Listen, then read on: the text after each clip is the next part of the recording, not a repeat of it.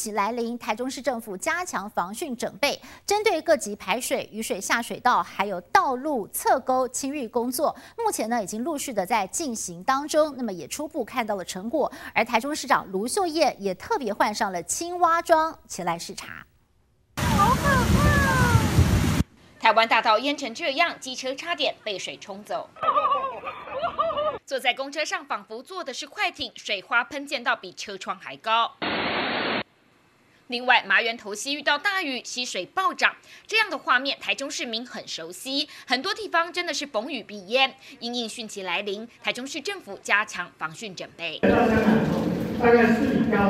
市长戴着工程帽，换上青蛙装来视察防汛工程，包括排水渠道清淤、各项水利工程及雨水下水道建设、智慧防汛通讯网科技防灾等。针对各级排水、雨水下水道及道路侧沟清淤工作，目前已经完成共六百七十处，总长四百二十五点六公里。其中雨水下水道清疏工作，水利局已完成八十三处瓶颈段之清淤，清出约一百五十七公吨大量淤泥。大部分都是都市的。